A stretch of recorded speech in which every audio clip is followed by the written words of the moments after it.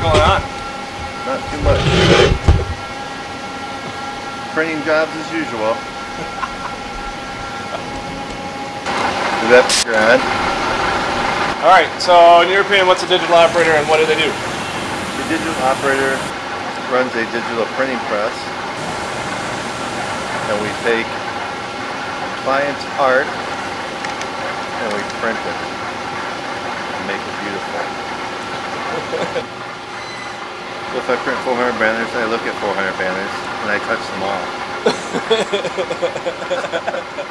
and once they're completed there, I take them to the fab department.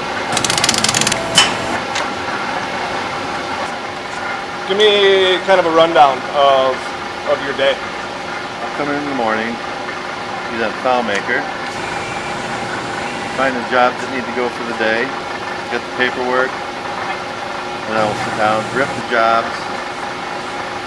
Once I rip the jobs, I prep the machine, I load the material, import the job, then I print it.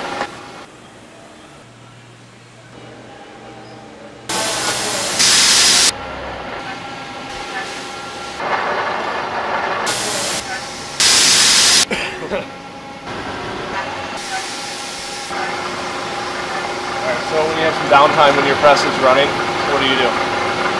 Uh, you clean up around it, check inks, solvents, Excel logs. Oh no. Pretty much just check maintenance, clean it, make sure it's not pigsty around the area. Do you love your job? Fucking love it. Oh my heart. Do you love Britain? I am Britain. We are Britain.